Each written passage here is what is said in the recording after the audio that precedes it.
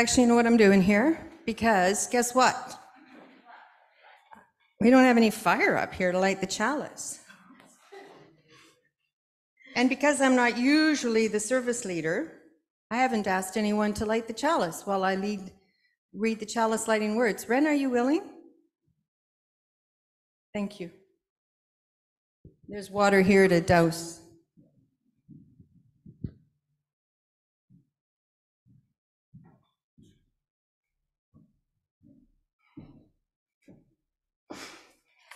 Obviously, we need a better cha- uh, service leader. Okay.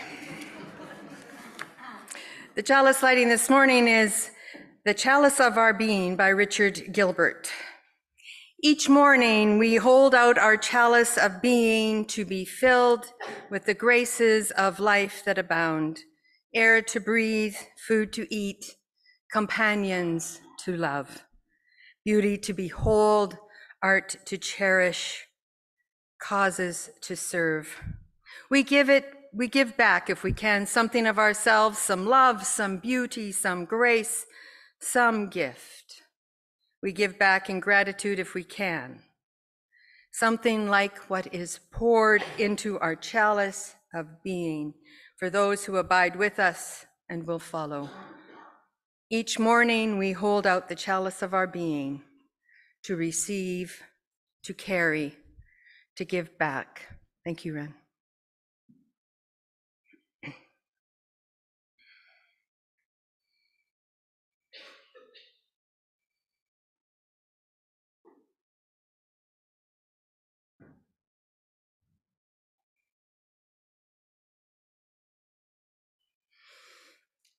I invite you to rise in body or in spirit as we sing our opening hymn, Morning Has Come. Is this familiar to folks? 1000 in the Teal Hymn Book. I thought it was. Oh.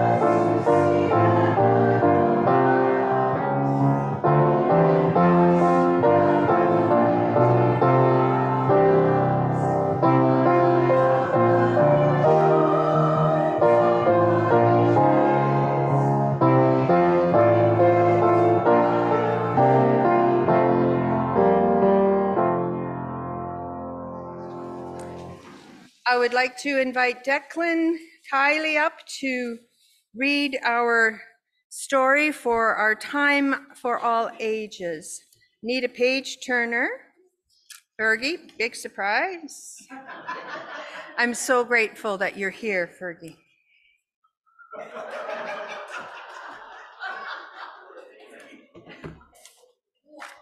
Bear with me, I'm a little hoarse this morning.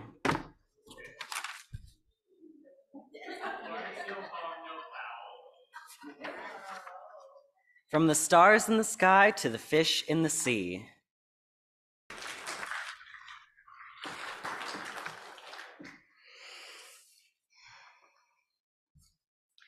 This congregation is fully supported by your gifts and your offerings. But before we do that, I just want to thank Declan and Fergie for that wonderful story and uh, for doing it with aplomb.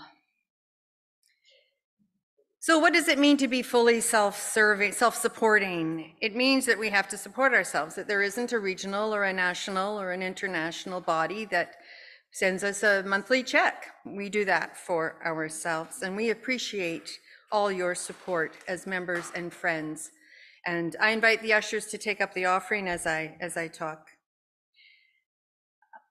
We invite everyone to share with your gifts and your talents and your time and your treasure, and they are in, the baskets are in the office. You don't know the code, I could tell you, but then everybody knows the code. Find someone that knows the code. Oh dear. Maria, could you help? She knows the code. Thank you. Wow, I got it. I got everything figured out today. I'm not used to being the service leader, can you tell? I just need to practice more. That's right. Oh, don't, Ilara, Ilara said, I'll probably never forget the baskets again, and I would like to say that I probably will. Yeah. So each month we share our treasure with worthy organizations, and these organizations could be local, national, or international. And this month we are sharing our undisclosed, the money that goes in the baskets with the food bank, and you can see how to, on the screen to donate to them. Many of our folks use an automatic, automatic withdrawal from their bank account to support this congregation, and if you wish to do that, uh, you can email the office or Andrew, and I believe, no, it's not, there it is. In, yeah. There we go. All of the things, they're right there. So that's, that's super helpful. That's a really great slide. So when I first got here, it was like post-COVID just, and we, we had previously been a food bank depot, but it had stopped. And so um, Dosha Lisney was a member here, and now she's moved back to Calgary. But her pushing and my understanding was uh, because of her pushing, I understood how important it was to have a food bank depot here at, Uni- at the Unitarian Church of Edmonton. And so we started one, and now we're up to about 40 families. Is that correct, Susan? More like 30. Okay, we, we support, or about 30 families come here to pick up their hamper every Wednesday. And as they do so, I believe it's a real blessing and a wonderful gift that we offer the food bank. So, and with that, we will sing our thanks, thank you song from You I Receive.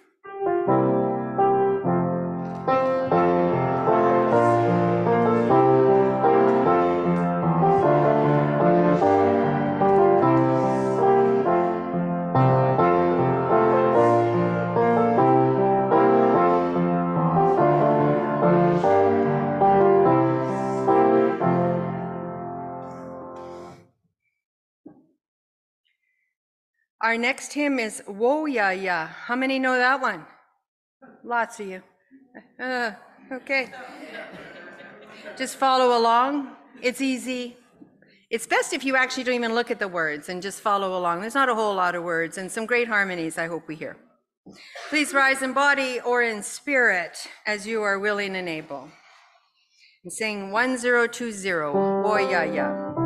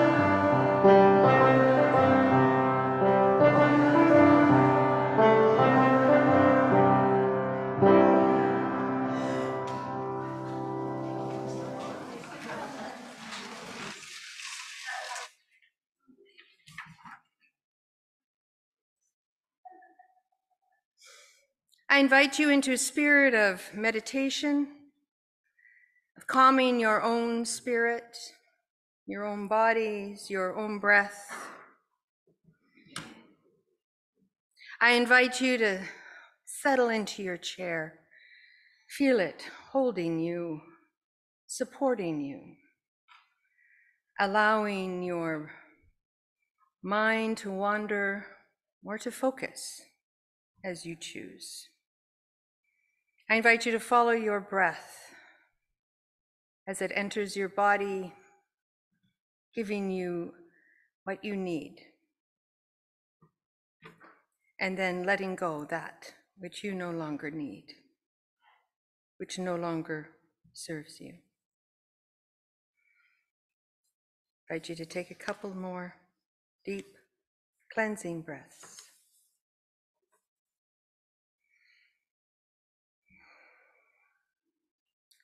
I offer this Buddhist ancestry prayer. Dear ancestor spirits, please hear our prayer. Remind us to breathe deep in each moment, touching our lives from within as we honor you there. Remind us to reach back to you who were here long before we began counting time. Or needing labels to describe ourselves as human beings. You goddesses, warriors, and kings, healers, priests, shamans, two spirit, family, and friends, share with us your wisdom, that we may know the power of community and understand we are already one. We need only self love and compassion so that we can truly let each other in. Dear Spirit, Creator, Higher Power, Goddess, God, Universe, Mother Earth, you who are calling us forward, remind us that we are deserving and enough. There is enough space in this world, in this in the hearts of this world and in our communities for all of us to be, do, and have all our hearts' true desires. To be safe, loved, and happy as our authentic spiritual selves. Dear spirits, we call on all of you at this time to come and breathe with and through us as we walk our paths toward equi- equity and freedom. Remind us that each breath is not just for this moment.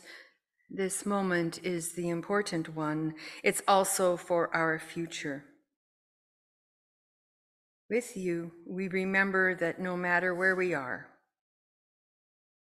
when we can be truly present, we can and do create our future. In remembrance of our sisters, brothers, and others, our, kin, our kindred, our siblings, and others lost to violence in all its forms. Please hear our prayers. Amen and blessed be. I invite you into a time of silence.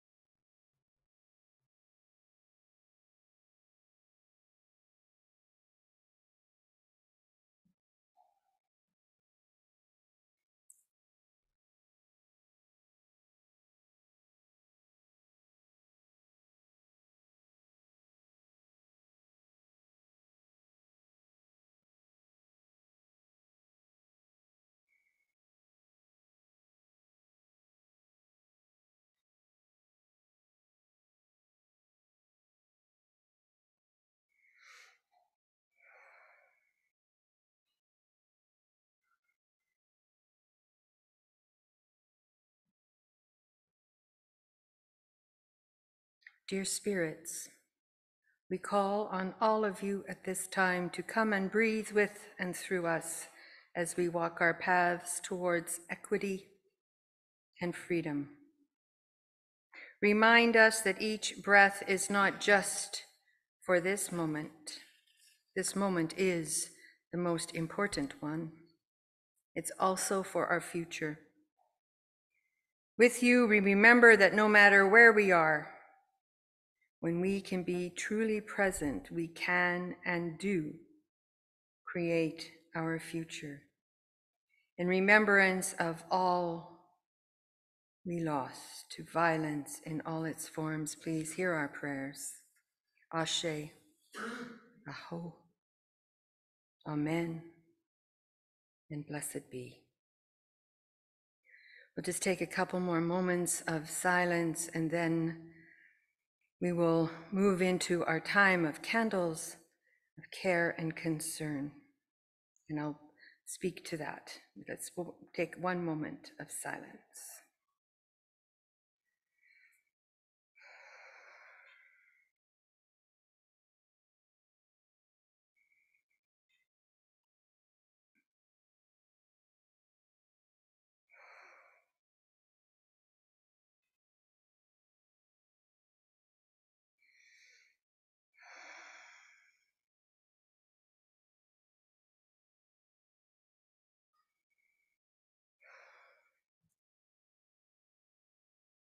As we think about what is in our hearts and minds, as we let those thoughts and feelings bubble up and become present in us, I invite you into a time of lighting candles of joy or concern, whatever is in your heart at this time. How is it with your spirit?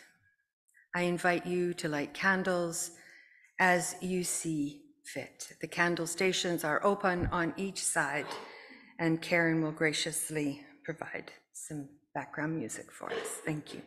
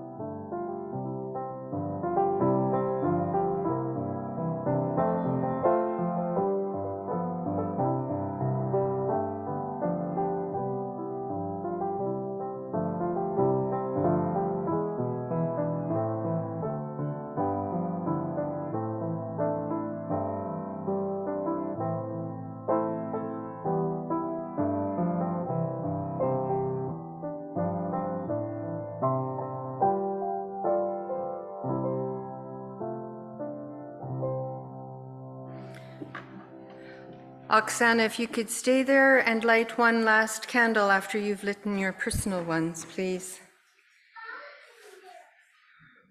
A last candle for all of the joys and concerns that we hold in our hearts, that may or may not even be in our conscience. Thank you. As I mentioned, oh, sorry, I will wait. I'm sorry, Anne Marie.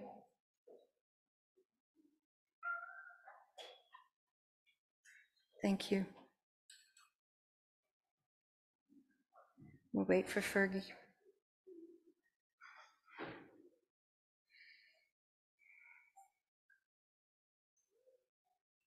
Thank you. So today or tomorrow is a Transgender Day of Remembrance, a time when we recognize those that have been murdered, hurt, struggled with their gender identity.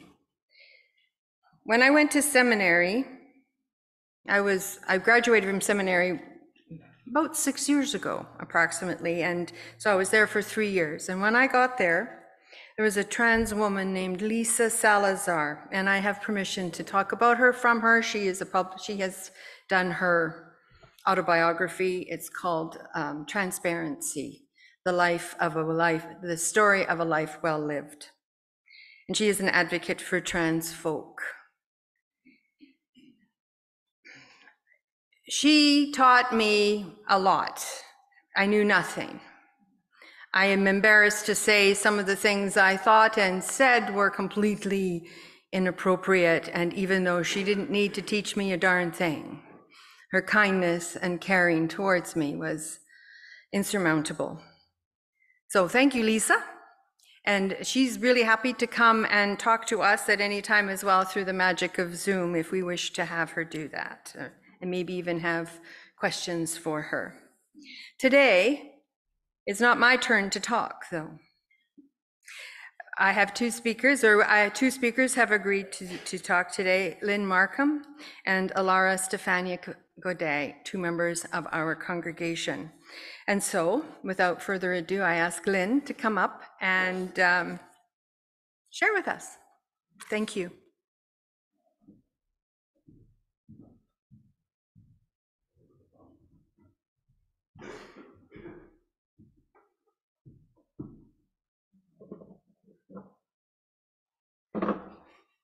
There's bells up here. They're really cool.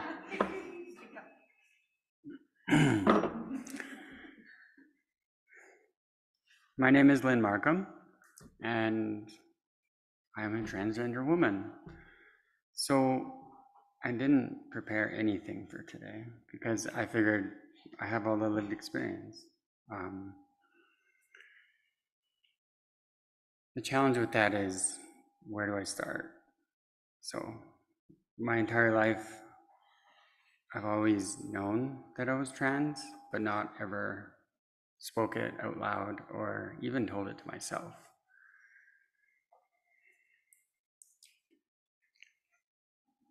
I'm going to be jumping around a lot, so bear with.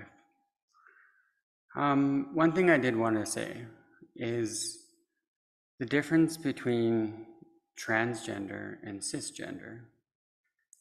Now, if anyone has any type of um, science background, you're going to know that trans and cis are used in science a lot. And the definitions of trans and cis, cis is same side of, and trans is other side of. So that's where transgender comes in. So I'm transgender, which means that I was identify as the gender opposite that I was born of. And if you're cisgender, you identify as the same gender that you were born of. Now, in the real world, you can see trans used in a lot of different ways. In Canada, we have a Trans Canada Highway. It's the same thing. It's a highway that goes from one side to the other. Right? We have a Trans Mountain Pipeline. Same thing. So, I just wanted to clarify that. Some people aren't really aware of that aspect and the fact that it is, the word trans is used in very daily lives that are just not as known. Um, for me, I have done lots of advocating work. Um, I used to be the chapter leader for Edmonton PFLAG. We actually were gonna host our meetings in this church at one point. But then pandemic and lots of different things, and it didn't end up happening, unfortunately, but it wasn't my sole decision. Could you say what P-flag means? PFLAG, yeah. So PFLAG stands for, hmm. Yeah, it's a little outdated. So PFLAG stands for um, parents, family, or friends? Yeah, parents, family of lesbians and gays. But that is a little outdated. Now, PFLAG has not changed their acronym just because it's well known and that's why they keep they keep it the way it is. But I believe their slogan now or their motto is um, like family for all, and it's just a general support for. Typically, it's geared towards the parents of transgender youth and or trans people and their loved ones, cared brothers and sisters and stuff like that. In, I think I did it for about five years. So in the five years that I was doing it, um, I got lots of phone calls from parents who just found out that their kids are trans. And they were always really hard conversations to have. They were typically always over the phone.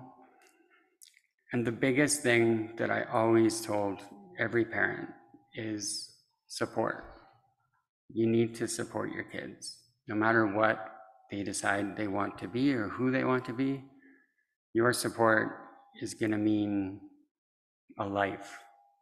And that's the truth. That's the hard truth of it. There's a statistic, I looked it up this morning, and that statistic is 4% of people that are trans with family support attempt suicide. 67% of trans people attempt suicide without support. That is a huge difference, and that is scary. For me personally, um, for me personally, I've been down that road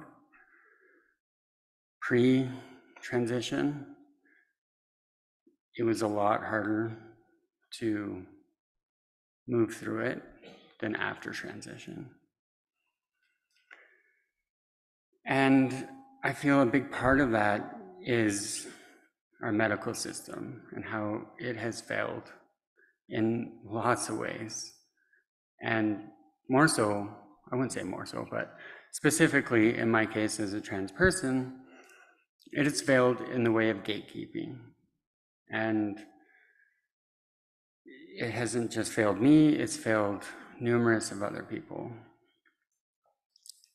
To, uh, to elaborate on what gatekeeping is, gatekeeping, is, could be as simple as a psychologist or a doctor saying, I don't want to give you this medication, hormones, or puberty blockers, or anything like that until we deal with your mental health. Well, your mental health is based because, or your mental health is bad because you can't get those things. So if you're stopping that person from getting that mental or getting that life saving drug, it'll help their mental health in the long run. In my experience, that happened with my addiction. So I am a recovered alcoholic, and it, when I was seeing the doctors and stuff before, they kept telling me that I need to quit drinking. And I kept telling them that I need to start the path down the road of me being authentic to myself. And I more or less made a promise to them, be like, if you set me down the path and get me onto the hormones, I will quit. Which in turn is exactly what happened. It was probably within weeks of me getting my legal name change and hormones to when I got sober. And to this day, I've been sober. Thank you. That is my personal experience with gatekeeping. Um, I have lots of other friends who are no longer with us because of gatekeeping. And it is, it's sad. It's really sad. Um, it's it's not easy to talk about. And I wish my friends were still here because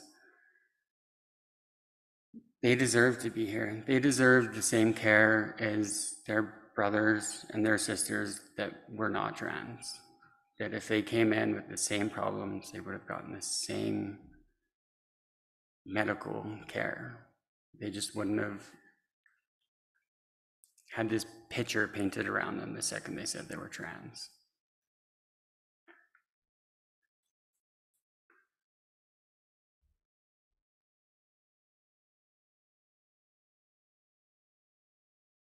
Yeah. I don't really know what else to say. I'm going to leave it at that and pass it on. Thank you.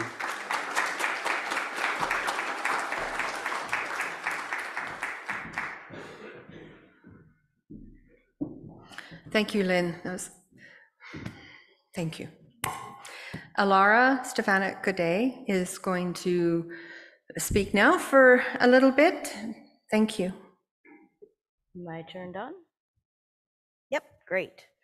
Uh, so my name is Ilara Stefaniuk-Gaudet, and I am a trans non-binary person. My pronouns are they and them. I, before I start, would like to ask the name of the person we were talking about on the way here, because I think for Trans Day of Remember, it's important to name the people we've lost. So can you remind me? Keita Allen. So I'm just going to take a moment in memory of Keita Allen, who's one of Lyn's friends that she was just talking about.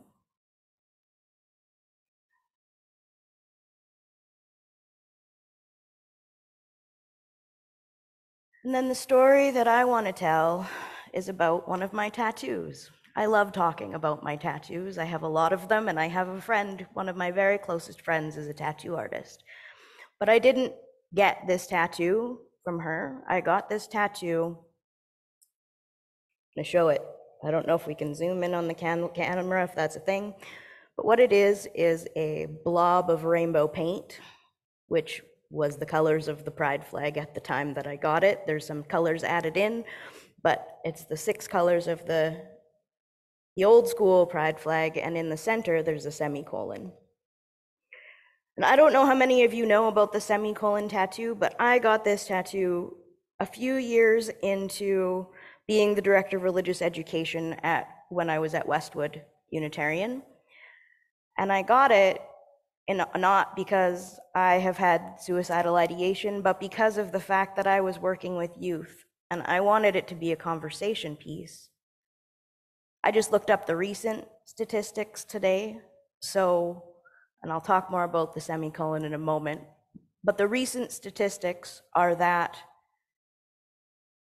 Youth between the ages here in Canada of 15 and 17 is what the study, the number, the age that the study was done on, are five times more likely to have suicidal thoughts if they are trans, and 7.6 times more likely to act on those thoughts if they are trans. So let's just think about that for a moment. We're talking about kids Okay, we're not even talking about folks in their 20s and 30s who have been closeted and haven't come out. We're talking about 15 and 7 to 17 year old this year. This is the statistic for this year. So back to the tattoo story. When I started working with youth at Westwood, I knew that I had learning to do, as is the case when you're working with young children. I had worked with kids with disabilities, but I had really not done much work with kids who were able bodied before. So I knew that I had a lot of learning to do when I first came into my position at Westwood.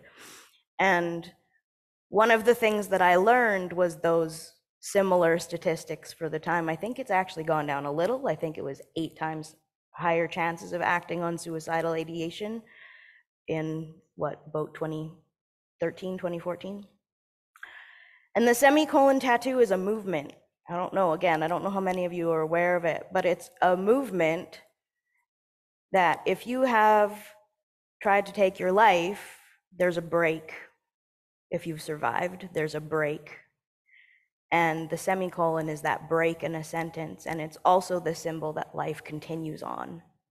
So I got this tattoo with the rainbow flag around it in honor of the fact that I felt like it was so crucially important to create welcoming and belonging spaces as a young adult that I was at the time for youth to feel like they belonged, especially for LGBTQ2S plus youth. Because like Lyn was saying, there's parent, like parental support is one piece of the puzzle, but the other piece of the puzzle is community support. When there are adults in the lives of these youth, there's something to hold on to. There's somebody that they trust that they can go to when they're having these difficult, difficult things come up for them. And I've t- told the story before about how the only reason I know that I'm non binary is because I started doing research to understand what the kids were doing these days. So, and this is a while ago now. But but one of the things during that time of my own questioning that I had heard was I actually I worked with this wonderful person through the Robertson Wesley United Church. We did some interfaith work together at the time and when they were introducing themselves with their pronouns, they said, My pronouns are she, her, but you can practice using they, them on me. And that resonated. This is before I understood that I was non binary. That resonated because I am a resilient adult and I already was at the time. So practicing on me means that you're not going to make the mistake when you're with the youth who needs you to use the right pronouns. And that need is a real need, it's a survival need. So I really just want to emphasize that. And then I'm also, to close, going to name Bree, who was a person I was in community with, who I also lost to suicide, who was a transgender woman. Thank you.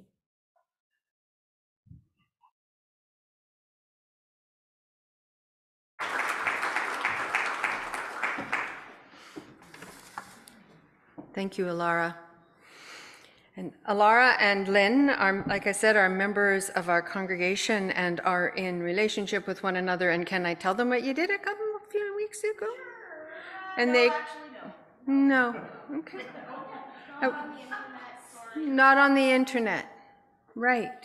Okay. We'll carry on. So, um, what is a custom during the Trans Day of Remembrance is to light candles of memory. There is a microphone here for you if you wish to speak to that candle briefly, very briefly. Um, and so the candle stations are ready. Um, Erica is going to come and lead us in this time of ritual and memory. Yes? Surprise.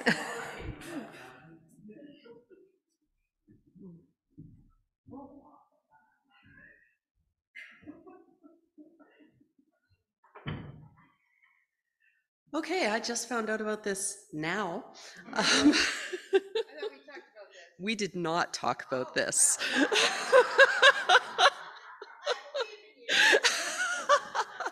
but that's okay. We put this altar together this morning because we want to honor the experiences of trans people. And the idea with this, and I spoke to several members of the congregation um, who are trans themselves or have trans people in their lives. And so I wanted to tell you about our altar. Um, the idea behind it was we wanted to uh, not have it be sad as much as this is about remembrance and um, thinking about people that we've lost. We also want to celebrate trans lives. And so um, we used butterflies as a theme of transformation for trans people. And we also wanted to honor the place that drag has in so many trans people's lives. And what is a better representation of drag than Gold LeMay?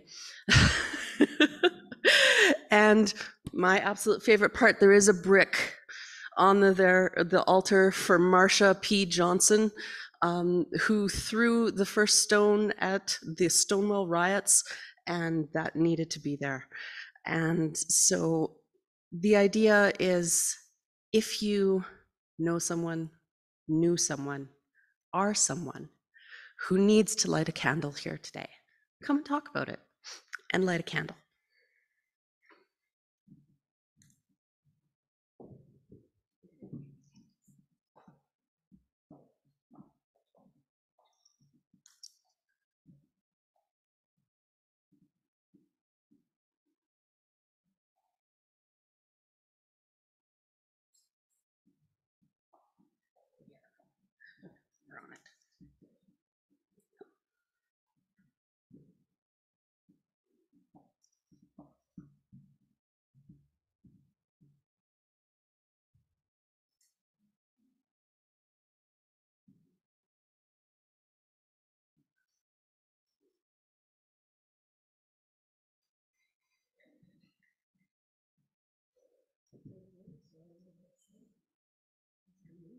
You could do this.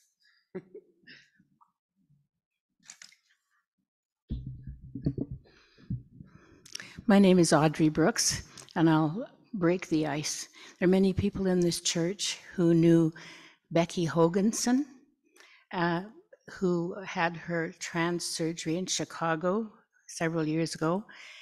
She was a little girl who sat outside my classroom at Vic Comp, became a member of my extended family for over 24 years.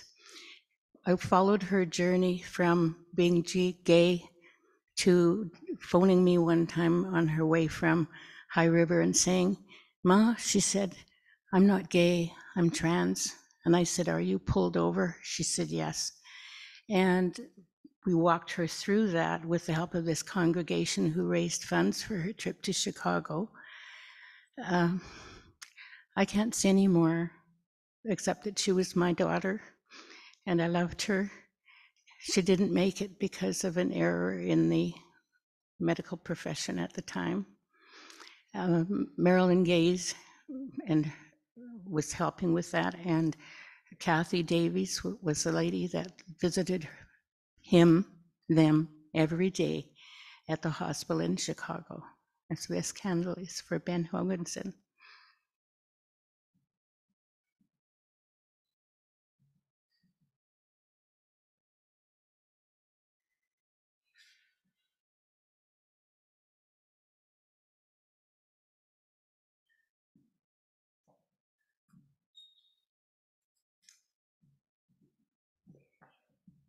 I'm Declan Kiley. My pronouns are he, him. I wanted to mention that um, I really liked uh, the explanation of the altar, so I wanted to mention what I added was a belt chain, uh, and that is to represent every trans person or otherwise who has found like a piece of themselves, a part of their identity in alternative communities, goth, metal, industrial, etc., including myself, who have found like a part of their identity that I, they hadn't uncovered in those alternative subcultures.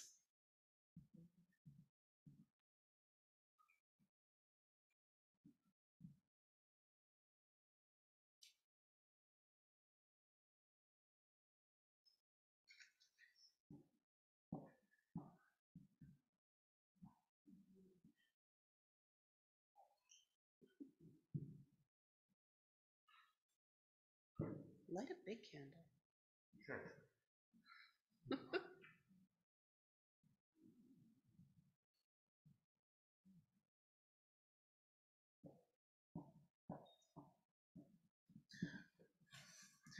Uh, so my name is Bernard, and the first experience I had with some of the hardships that transgender people face is when I had a friend call me when I was 12 years old, telling me that they were thinking about ending their life. They were 13 at the time, and that was my first brush with suicidal ideation and suicidal thought. It's unfortunate, it happens in many populations, but seeing just the prevalence within the trans community is upsetting. And hopefully someday we can do something about it.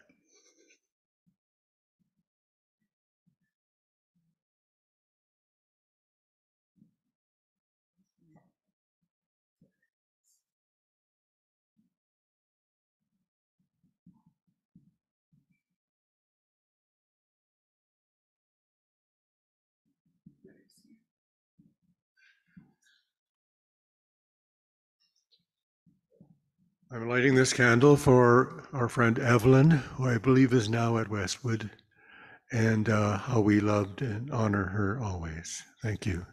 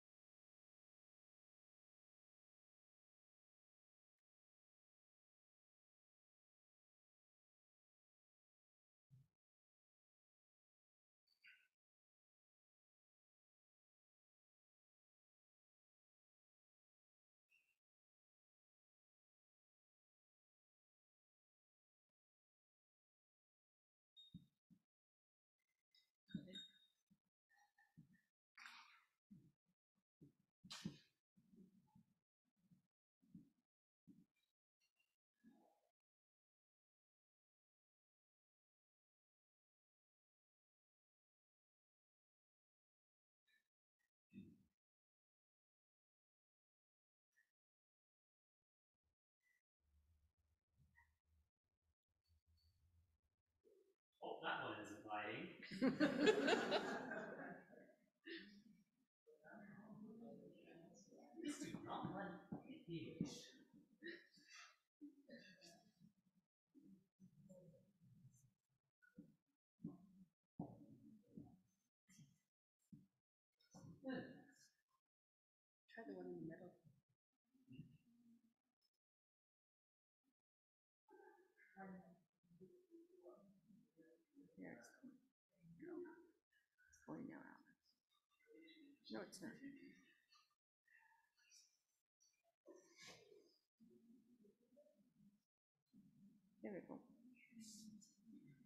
Water.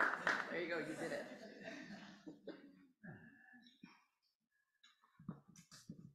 Well, that took a moment. My apologies. My name is Alex Neve. I am a transgender woman. And I realized that very recently. It wasn't a realization I knew my whole life. I think, in hindsight, it's definitely something I perhaps should have, but we can always say that hindsight is 2020. For me, it hit me like a brick to the face wasn't expected or something I was prepared for, but it was something that I've lived with, and I feel that my life has improved for it. And there's a certain level of almost blissful ignorance that one can be in to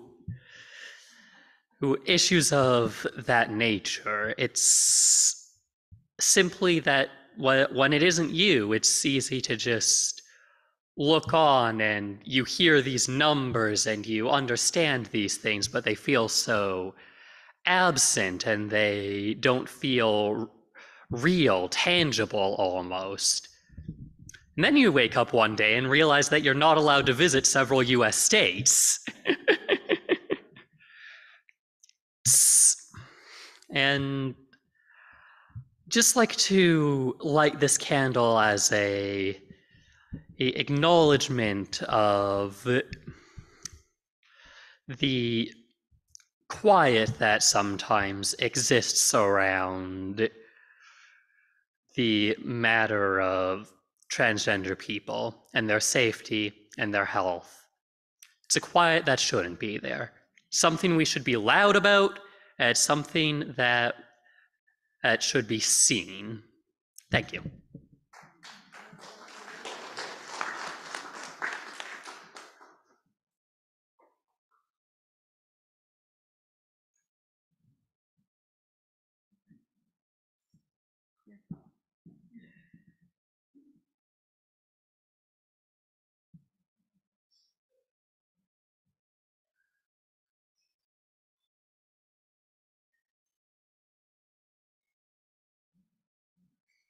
Alex's candle may have been a slow starter, but it might set off the sprinklers now.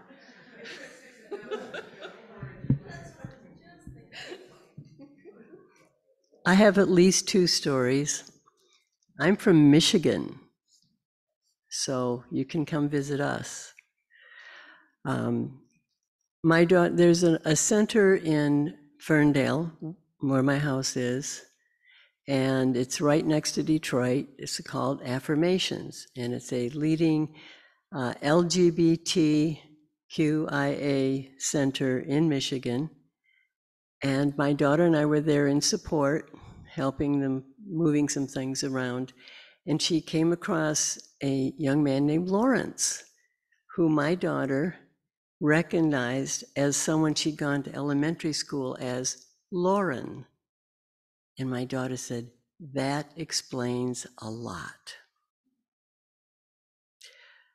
The other story, my Unitarian church in Detroit, we have a transgender woman, and she was telling us that she went to change her name on her driver's license and her car insurance. And she didn't change address or car or anything else. And she found out that suddenly she was going to be paying more for her car insurance because she was female. And we women thought we'd been getting a break over the kind of driving men do. Surprise.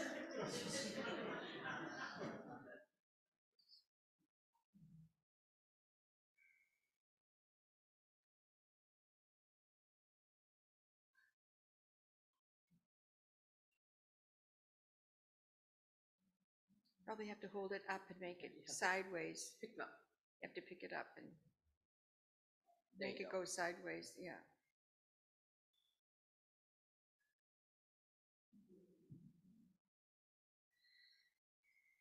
Yeah, those ones are hard. You could light a lantern too. Light it.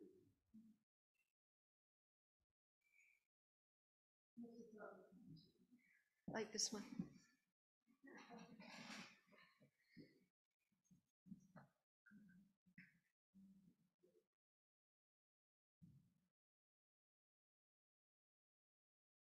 Yeah, go ahead and light.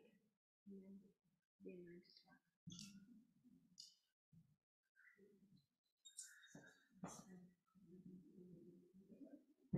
Oh, you put, put it in, oh, sorry.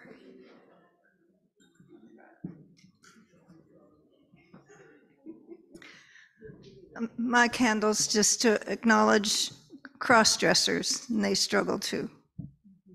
Yes, thank you.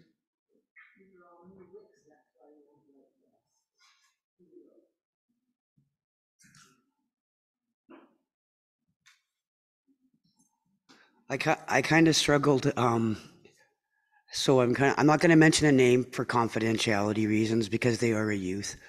Um, but being affiliated with Dragon Youth, I quite often get Facebook messages of kids that are struggling. So my candle is just for all the youth that are struggling, that are trans, that are struggling to come out to their family, their friends, their schoolmates, and the difficulties that are ha- they're having.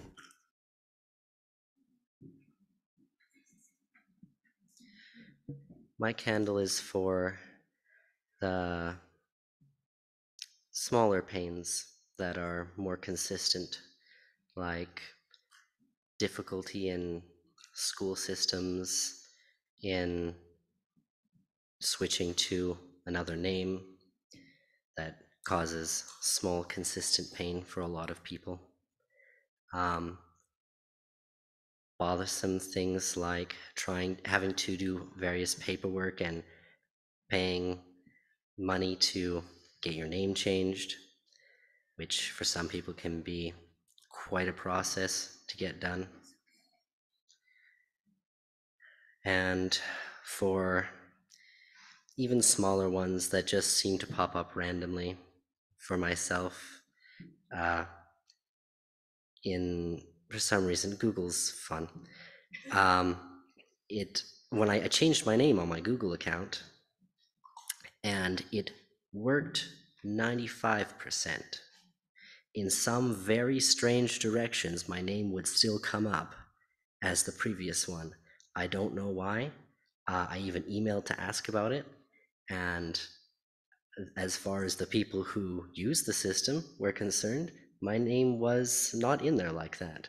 But through some strange data processing, it kept coming up just occasionally as my previous name. And that was not fun.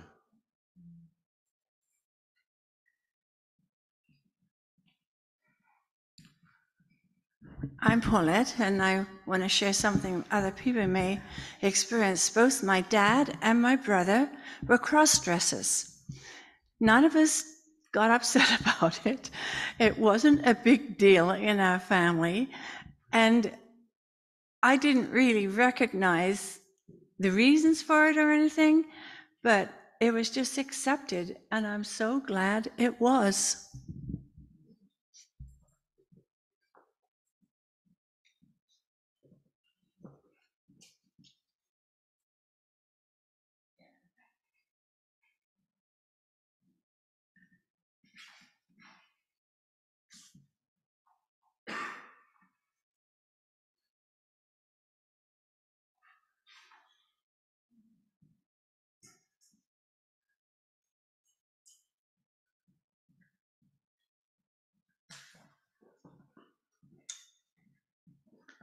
Uh, I'm lighting this candle for a longtime member of our youth group who we haven't seen in a while, who ended up in that awful situation when they came to a realization and changed pronouns and changed names, where one parent was completely understanding and open hearted, and the other took it very personally because that parent had chosen the, name the child had been given at birth. And I just wish that more parents would understand. Awful though it may sound, it's not about you, it's about them. And that's so important.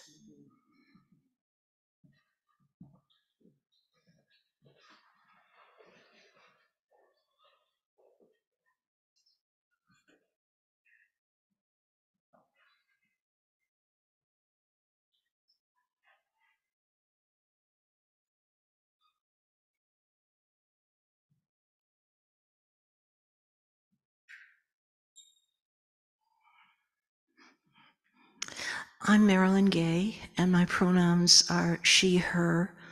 I'm just one of those ordinary people who was born a girl and have lived my life as a woman. But the candle I lit is to celebrate the support and sometimes bravery of Unitarians, ordinary cisgender people, gay people, and everyone when we stand up against the province of Alberta and their attempt to uh, jeopardize children in the schools by um, revealing confidential information in a way that may be hostile to them. I'm reminded, I'm constantly aware of the number of homeless youth out on the streets because their parents rejected them when they came out. as gay or trans. And of course, the suicide statistics are, have been spoken of very much. We need to support and protect our youth and our friends who are um, of, of this segment, large segment of our population. We're all brothers and sisters together.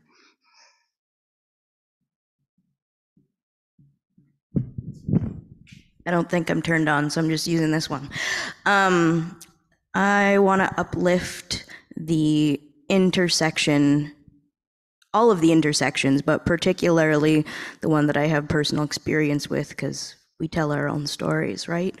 Um, the intersection between being trans and having a disability. And it's going to end with a note of hope, but I have been out as trans non binary for about seven years now. And I had my pronouns used correctly within the medical system for the first time about two months ago, which is great. And we have a long way to go.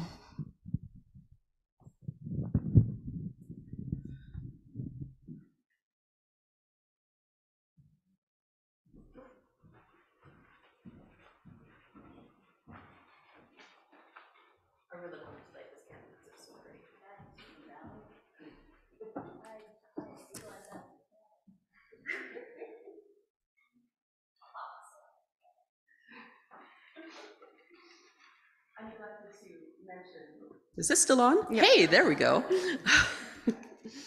I neglected to mention before that my name is Erica Deneve. My pronouns are she, they. Um, that beautiful human being who stood up here uh, is my daughter, Alex Deneve, who I am so very proud of.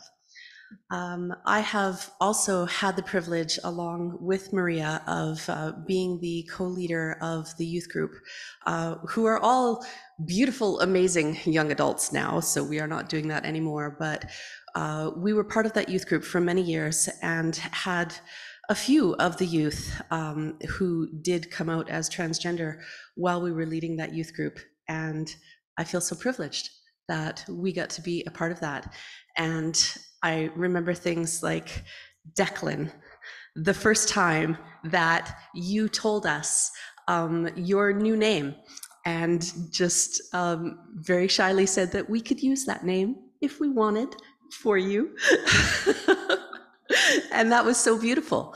Um, and I love celebrating moments like that with people figuring out who they authentically are. And it makes such a difference when we can do that for people, when we can see them as they want to be seen. Mm-hmm. And there are so many little places where we can do that for them. Even something as easy as for those of you who are on Zoom, you have an option on your little Zoom thing to put your pronouns on there. I have it on mine. And even if you are cisgendered, putting your pronouns on your Zoom account makes it easier for people who want to use other pronouns to feel more comfortable doing that as well. And that is a thing that you can do to help anybody who isn't cisgendered to feel more welcomed into those spaces too. Thank you. Wow. Thank you, everyone who lit candles of joy and concern and memorial candles. And thank you, Erica, for uh, going with my complete misunderstanding of how that was going to go. I am practicing being the service leader. I have done it before. I have done a couple services in my life. Okay. But I'm going to humbly request that we skip the last hymn and go straight into the chalice extinguishing. Ren, if you could come and extinguish our chalice, please.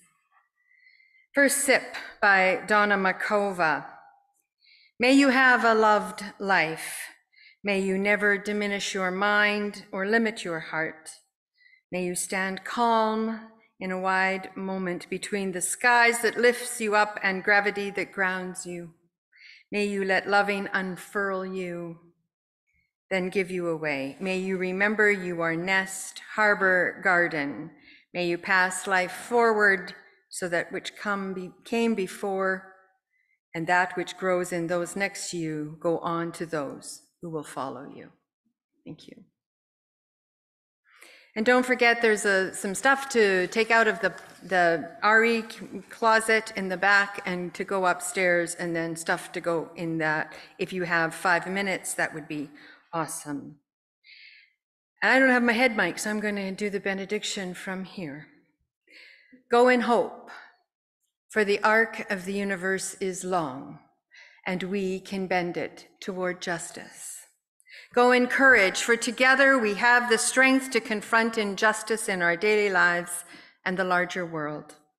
And go in love, because a holy and generous love is both the reason and the means by which we transform our world. Go in peace, gentle people, go in peace. Amen. And let us gather in our linking song and sing Carry the Flame.